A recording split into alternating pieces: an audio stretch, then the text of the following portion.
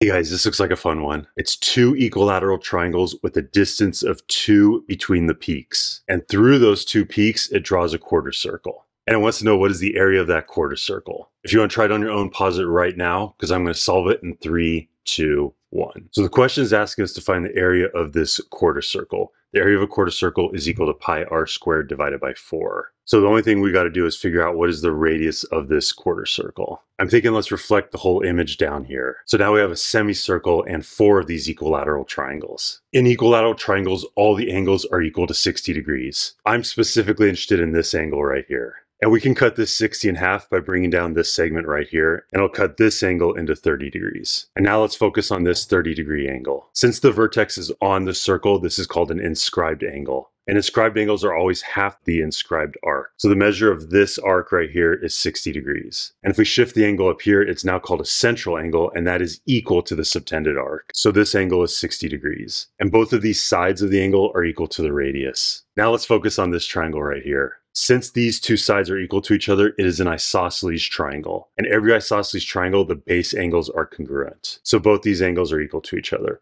Since every triangle has 180 degrees, this is only possible if both of those are 60 degrees. And now since all three angles are equal, we know this is an equilateral triangle. So that means all the sides have to be equal. So both of these sides are equal to 2. So now let's bring back our original figure and let's focus on the quarter circle. The radius of this quarter circle is equal to 2. And now we're ready to use our area formula. In the place of the radius, let's plug in 2. 2 squared is equal to 4, and these 4s will cancel each other out. So the area is equal to pi square units. And this is the answer to our question. Let's put a box around it. The area of this quarter circle is equal to pi square units. How exciting.